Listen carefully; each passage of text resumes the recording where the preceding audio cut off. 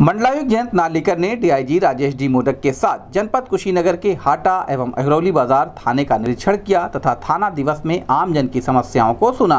अहरौली बाज़ार थाने के थाना दिवस के ग्राम प्रधान मंगलपुर के पोखरी के कब्जे की शिकायत के निस्तारण में शिथिलता बरतने पर लेखपांत रविंद्र शाही का वेतन अग्रिम आदेश तक रोकने का निर्देश दिया। इस अवसर पर मंडलायुक्त ने वहाँ पर उपस्थित लेखपालों से वार्ता करते हुए कहा कि लेखपाल को अपने गाँव की शिकायतों व समस्याओं के बारे में पूरी जानकारी रहे और उन शिकायतों का समय से निस्तारण किया जाए।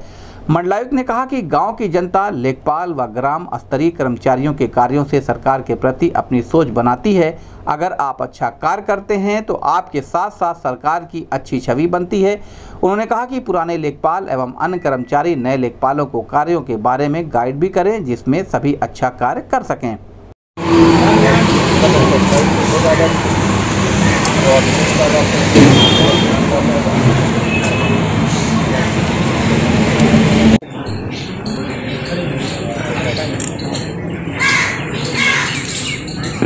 क्या प्रकरण है बताइए?